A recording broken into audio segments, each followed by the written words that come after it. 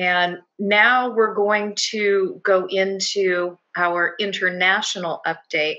Um, so, for those of you who have stuck around all day and had questions on how do I expand my brand outside the United States, you're going to be hearing from a group called GCNC uh, that's going to be able to provide that, that international update.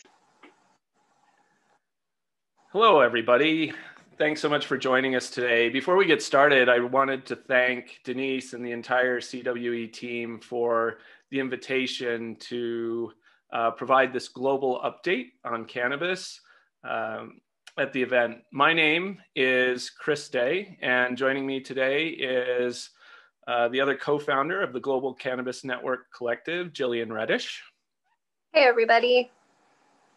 We're really excited to talk to you today, not only about the world and movements and trends that we're seeing, but also to talk a little bit about the purpose behind the Global Cannabis Network Collective.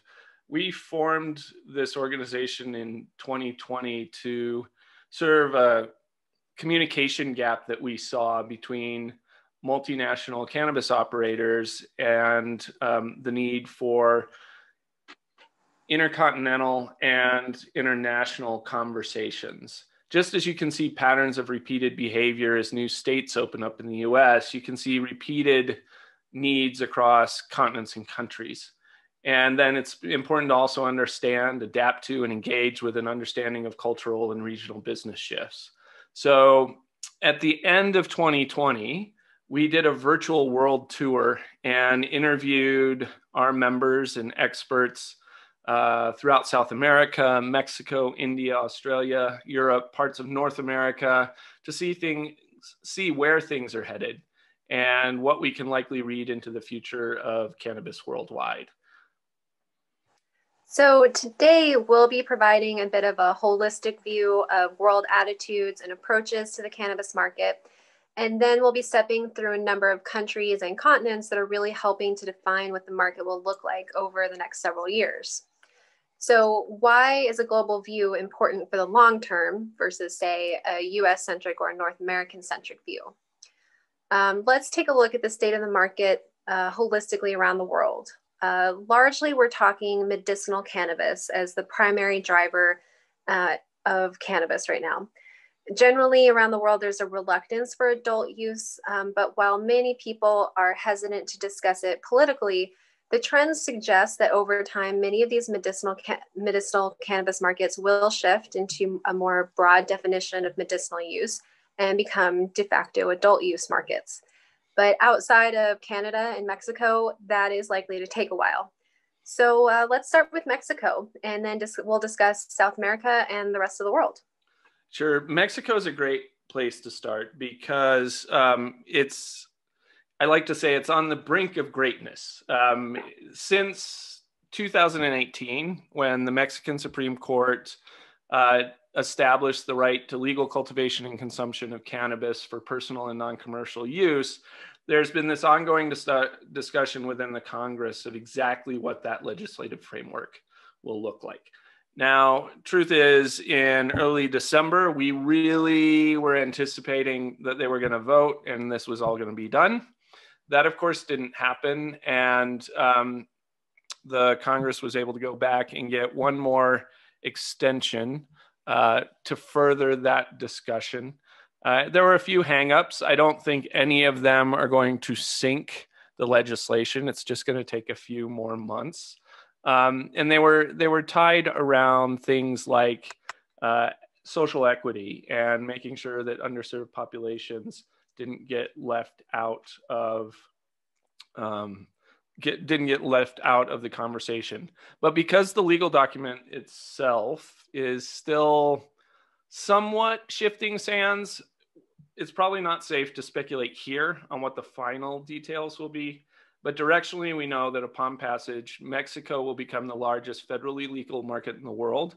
And it's highly likely that it will have both medicinal and adult use uh, applications from the get-go. So uh, the current, you know, the current hangups aside, those will likely pass here pretty quickly. And Mexico is going to approach finalization of the legislation. And that will add them to this movement throughout Latin America and South America, where a number of countries have already established their legislation and are ahead of the game in terms of being able to work through implementation of their own programs. Places like Colombia and Ecuador, who have been seeing a lot of moves that they're making. Um, but but Jill, uh, I know that you've been looking into sort of that the details of some other places like Ecuador and Peru and Brazil and Uruguay. Yeah, absolutely. Uh, South America is just a really interesting continent for cannabis right now. It's home to 650 million people, and the vast majority of those live in countries with some sort of legal medical cannabis. Um, so, I'd actually like to provide just a brief overview of some of the themes in general, and then we'll touch on a few of the key markets that we think you guys should know about. Um, so just to start with an overview, largely South America has compassionate use special access schemes as the primary way for patients to be able to access cannabis medicine. Though of course, each market is evolving with every year. Uh, for patients, some of the main barriers to access include the fact that price remains high and uh, health insurance coverage can be rare and is often considered last resort. For businesses, uh, some of the barriers we've seen are lags in issuing licenses and managing and enforcing international trade logistics. Um, though all that being said, there are meaningful and immediate revenue opportunities for the home markets, um, a little bit limited, but right now companies are focusing more on exporting rather than developing their internal markets. Um, but what's interesting from that we've been hearing from our GCN, GCNC members is that there is an appetite to change that. Um, I also want to just make note that we've seen significant investment in South America by Canada, uh, though globally that has started to pull back just recently. Uh, so I want to touch on a few of the key markets. Um, let's just start with Brazil, which is considered the largest potential market with 15,000 patients uh, that are allowed to import individually to access medicine. However, Brazil hasn't evolved its market beyond that yet, uh, though there is a lot of appetite uh, and eager anticipation, hoping that those regulations change in the near future. Uh, let's turn now to Colombia, where their domestic market has really advanced in recent months. Um, they've been able to sell preparations uh, with both uh, CBD and THC. And they've seen um, export exports in excess of $1 million of medicinal cannabis to about 20 different countries. And uh, 2020 also saw Colombia's first export of seeds available commercially. So there's lots happening there in uh, Colombia. Though I want to turn turn now to Peru. Uh, so far, Peru has totally depended on imports, though it is trying to finalize uh, its cannabis legislation and grant their first production licenses. They're in the midst of that.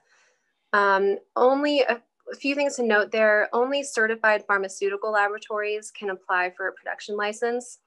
And in talking to a few of our GCNC members uh, based in Peru, we know only a few so far have registered products. Uh, there's definitely a need in Peru and several other countries down there too for uh, increased testing capacity and other supply chain elements to get the market really rolling. Similar kind of a similar situation in ecuador. Actually they've allowed export of flower but it's uh, an evolving market right now uh, one you should be watching for sure. And the, the final country i want to touch on is uruguay. Oftentimes we tend to only mention uruguay for its uh, notoriety as being one of the first countries to fully decriminalize cannabis. But there's in recent years months really there's been a lot of important developments for the global business landscape so Uruguay so far has generated more export revenue than Colombia. And its uh, exports have reached countries like Australia, Argentina, Germany, Israel, Portugal, Switzerland, and even the United States. So, one of the key factors that we wanted to highlight uh, that everybody should know about is the Montevideo Free Airport. This is the only free airport in South America, and it had that's pretty important ramifications for cannabis trade. What they do is they allow for pick pack shipping from bulk from bulk shipments that can then go on directly to patients. So this really enables a cost efficient, scalable distribution platform for access to the entire Latin American market. So that kind of scalability and access, very important for thinking globally about trade, especially vital for European markets. Yeah, that's right. So if you look at sort of the the supply chain around the globe, right? The operational logistics needs um, are always an issue. As soon as people start thinking about, hey, we want to be able to export, then the question becomes, how do we do that? Um, and certainly a lot of those South American markets have been considering that uh, because the populations are a little bit smaller. And so if they want to create a really robust economy off of the cannabis um, plant, they need to be able to export it. Um, now, Europe is one of those regions that is going to continue to be highly competitive because just as South America is looking to export there, so is Australia, so is Canada. Um, and within the continent itself, there are a lot of test markets um, in places like France and Switzerland and Italy. There's nascent movement in places like Macedonia and Poland. Um, Germany, though, is going to continue to be sort of the big talk, big market for the foreseeable future. And the UK, while um, the actual market is still sort of gaining strength, um, we all are going to have to see what the long term effect of Brexit is there, of course. But the UK has a lot happening in terms of the national health system and being able to provide patients with reimbursement. Similar programs are beginning to be established in Germany as well. So, look, in 2020, um, Europe had a total cannabis market of $359 million, give or take. Um, and 267 million of that was projected to be out of the German market. So, um, Brightfield Research Group has put together this uh, report in the fall last year, which you can go find and download. And what you'll see there is they projected a 25% uh, increase in 2020, and then progressive increases in the market to 2025, resulting in a total of a $3.1 billion market. So huge growth potential there from $359 million to 3.1 billion. Obviously, there's a lot of things that would have to go right for that to happen. And the next largest countries currently behind Germany are Italy, Denmark, Poland, Austria, and the UK um, coming in behind those. So, um, in looking at the report, I do trust their methodology. I know how they approached it. I think it's a it's a good solid number to look at just know that um, even that team over there would would admit that there's a lot of things that have to go right, and there's some speculation in terms of how markets will flow out. I see personally this growth being driven by a couple of things. One, of course, is new countries come on means new consumption, um, but there's also a diversification of the product mix. So today, most things are pharmaceutical type prescription products um, and some flower. It appears as more changes are happening that oils and capsules are going to have a place in that market pretty substantially. So I think five years from now, the pie chart showing what people, how people are consuming, going to, are going to change um, pretty significantly, and that will change the monetary equation pretty significantly as well. It's um, going to be interesting to see as the markets mature um, where that uh, continued capital for growth comes from. As you mentioned in South America, same thing in Europe. Canadian capital has driven a lot of this expansion, um, and the belts are being tightened there. So I choose to look at it as a positive opportunity for um, European companies to start to control their own destiny a little bit and for collaborative partnerships between them and other sources of capital out of North America. So two words that I like to use when talking about Europe is pragmatic and patient. If you're investing in Europe and you're talking about the growth of the European market, you need to understand that they are very much focused on using a medicinal model, looking at a pharmaceutical model as their primary driver. And that takes time. It creates a lot of testing, a lot of red tape. Um, but as that happens, it also means that that testing and red tape creates a trusted process and procedures. You know what you're getting um, there. And so over time, it should build confidence. Um, if you look at some of the tests, like the pilot projects, for example, like the one in France, um, it's great. They're they're building out this program to help uh, really sort of test their ability to regulate, test their testing procedures, and um, but whoever is partnered with that has to give the cannabis away for free. So if you're investing in that market, you know that you're going to take a loss for three years at least before you can even hope to get a positive return on any of your investment. Um, but if you're patient and if you have the capital to do that, it certainly will be a good market. You just have to look at it in the term of five to 10 year blocks as opposed to six to 18 months. Um, you know, and as a sidebar before we shift off of this, um, it's also been interesting to see some formal education programs being formed for physicians in the UK and Germany. Um, these programs are actively helping to destigmatize cannabis. So it encourages um, education of physicians, knowledge about what types of maladies using medicinal cannabis is good for. And that over time, also combined with sort of the consumer uh, demand for it, I think will really provide a really super strong foundation for the long haul uh, in Europe. You know, places like Malta are working to provide business friendly entry pathways uh, for companies to enter the EU. And um, I've also heard a number of companies in sub Saharan Africa are looking north to Europe for expanded opportunities as well. That pipeline has been used uh, for produce, for decades. So the that directional flow um, people are used to, um, but of course that that is going to take some continued time. And, and Jill, I know you've looked at Africa more recently than I have in terms of updates. So what else are we seeing down there? Well, actually, I would say that we're seeing a lot of really exciting possibilities in Africa, though it might take some time for it to really get off the ground. Um, South Africa and Lesotho are really leading the way, while some of the other countries are kind of playing the wait and see game.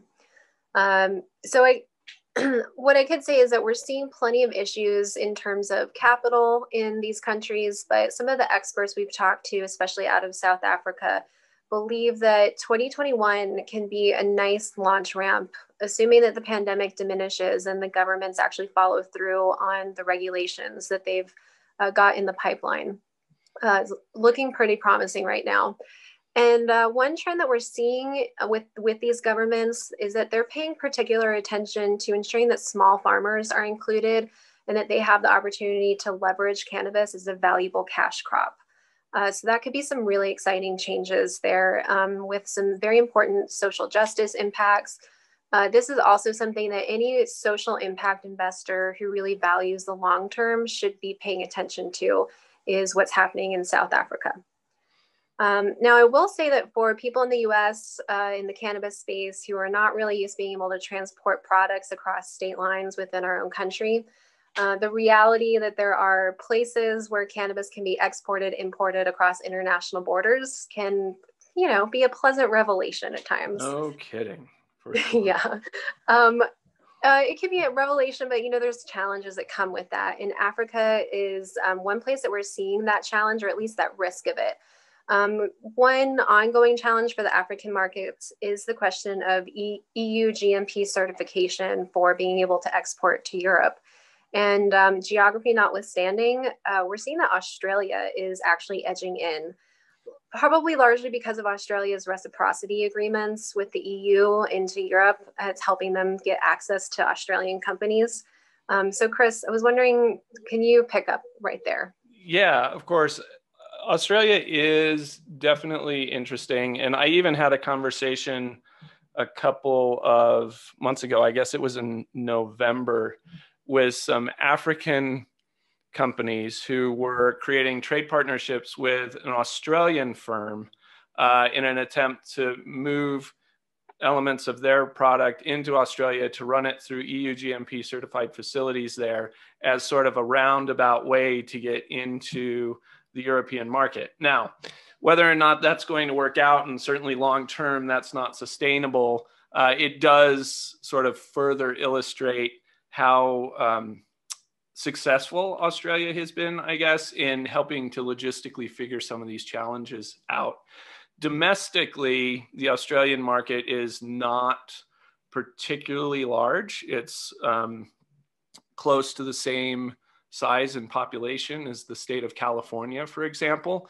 Um, but the Australian companies are very well aware of the fact that while they want to have a very strong and vibrant domestic uh, market and are working towards that, as a matter of fact, in the middle of Q4, uh, last year, we saw in an insurance company start to reimburse patients for cannabis medicine. So that is indeed happening. They also know that their long term path uh, to large growth is through export of product. Um, one example right before Christmas, uh, Little Green Pharma announced that they had successfully um, got products available for sale in Germany, and they had already done so into the UK.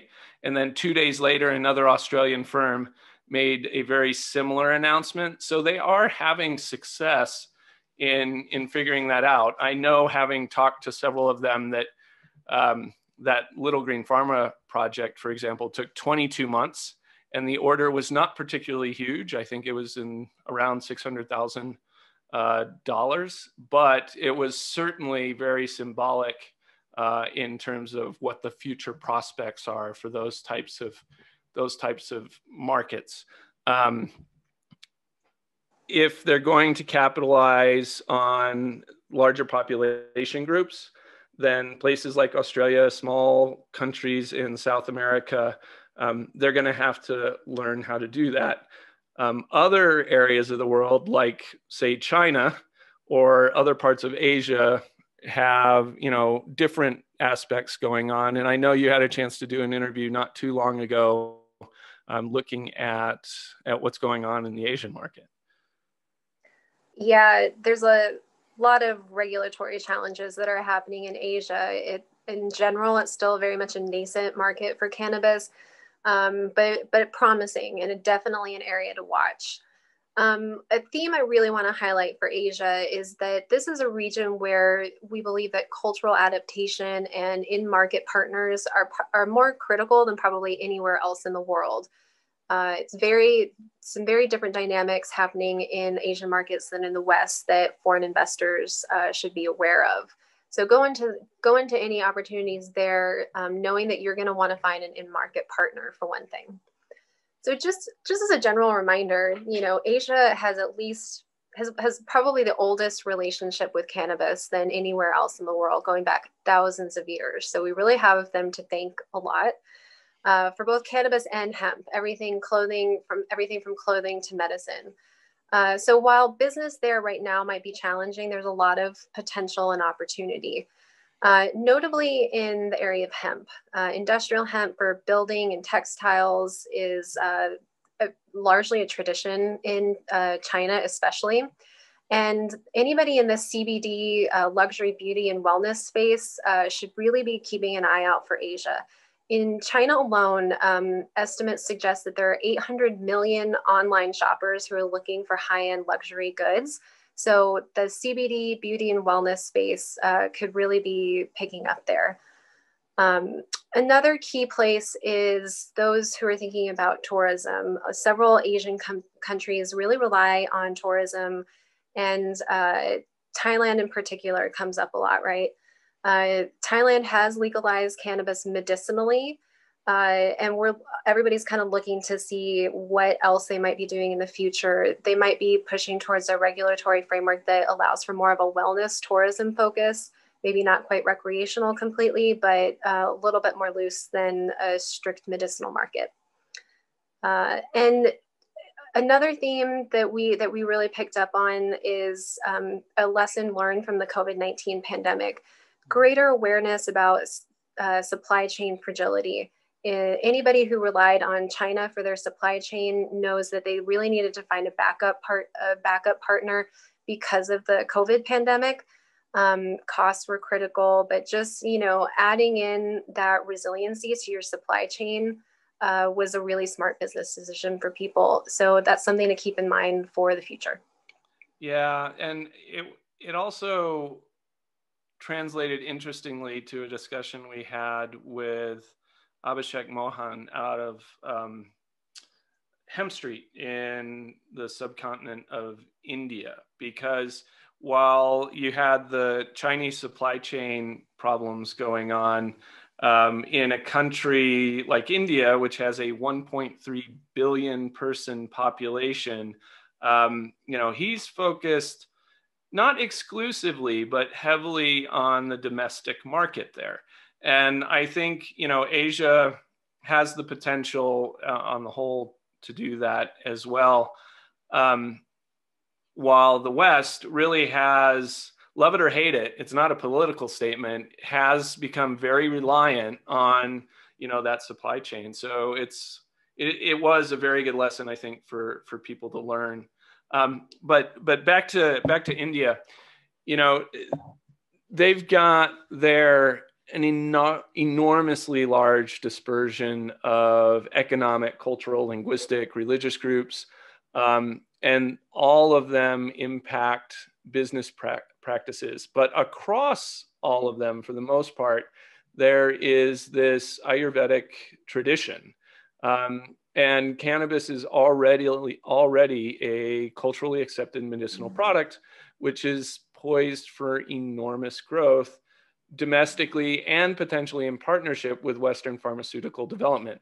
That does, of course, require uh, those of us in other parts of the world to pay attention to that because, um, you know, in talking to Hemp-Street, uh, Abhishek was taking a very focused approach on key pain elements and talking to doctors, similar to what we were seeing in Europe, right? Talking to doctors, educating them on what the appropriate treatments were, uh, and destigmatizing the discussion even further um, to help expand the legal options throughout India. So, with a population as large as what they have, there is certainly not an immediate need for them to go abroad if they don't want to, but there's certainly a huge opportunity should they. Um, you know, all of these different business challenges and discussions and everything um, that we've just sort of plowed through. I mean, how do you possibly cover the world in 30 minutes or less. Um, what we're trying to do with the GCNC is create solutions groups of our members to bring them together to talk about proactive ways to solve international business problems in expanding the uh, international cannabis marketplace. So um, we are already establishing some of those to talk about how do we look at firming up South American markets within South America and then a progressive approach to expanding into other continents like Europe. Um, I certainly am looking forward to digging into the Asia equations and looking at how we sort of continue to create partnerships and collaborations across those markets. Um, I think that is a likely discussion within the GCNC here over the next uh, six, 12 months to complement what's already being discussed in Europe and South America. So, um, you know, it's it is a lot of fun to be able to just go through this and sort of knock down the dominoes as we talk and tour through the world. Um, but for those listening who really want to get more, uh, we host the International Cannabis Conversation podcast every two weeks on trichomes.com. We have resources um, and YouTube channels where you can get some of what our members get to see to help inform you more. And, you know, obviously, if you have questions uh, out of all of this update, you can always reach out to us. We're happy to answer them. Absolutely, Chris. Um, so as you can tell, we've you know gleaned a lot of this information that we shared with you all uh, directly from the members of the global of the GCNC, all of whom really understand the value of being willing to come together and share meaningful information uh, as we as we all work together to build a strong and sustainable global industry. So, um, really, we would encourage any companies or professionals who are already operating in multiple countries uh, or expect to be so in the future uh, to, to come talk to us and apply for membership. Uh, you can check out our website, which is alwaysdriveinnovation.com. And uh, with that, really want to say thank you to Denise and the Canna World Expo team for putting together uh, this incredible event and for being another excellent convener. We love to work with you and we really enjoy and appreciate um, our collaboration. And we love to come work with you and discuss global trends and opportunities. So thanks, everyone. Thank you. That is the international update in 30 minutes or less.